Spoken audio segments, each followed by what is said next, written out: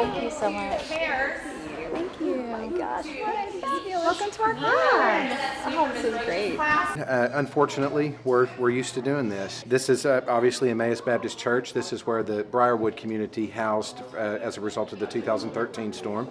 It's just exciting to see. It looks like you've been here for a long time, and I can't but look. You've even got things on the walls.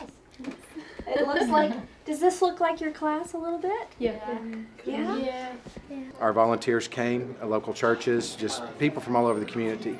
And uh, we, we were able to move in this building within about six hours. An entire school uh, moved into here. We are so grateful. Uh, this has been, uh, it's been overwhelming, but it's a good overwhelming because, and I was telling the kids this morning uh, that I was so proud of them for being so resilient.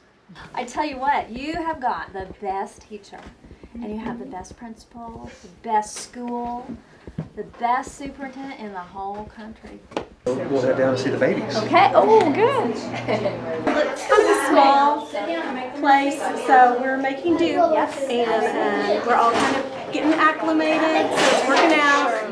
You all uh, are pros at how to just make for a smooth transition. Resiliency is, you know, needs to be part of the name for more public schools. But This community is wonderful. Uh, the Southgate kids and families uh, love it over here. We, we will finish out the school year here, and we would, we would hope to be back over there in August and, and, and back home.